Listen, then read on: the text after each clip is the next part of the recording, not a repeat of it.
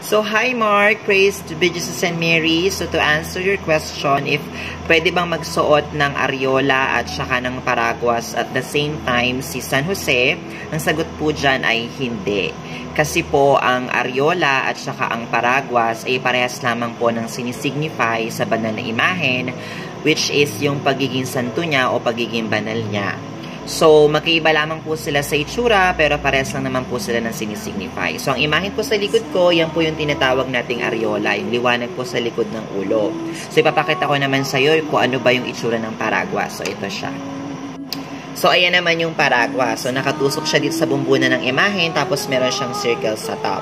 So, inuulit ko, pares lang sila ng sinisignify, pero magkaiba lang sa itsura. So, kung isusut mo sila parehas dun sa pinaka-imahe ng San Jose mo, magiging redundant lang. So, yun lang. Sana nasagot ko yung tanong mo. Mag-iingat ka palagi, and God bless you.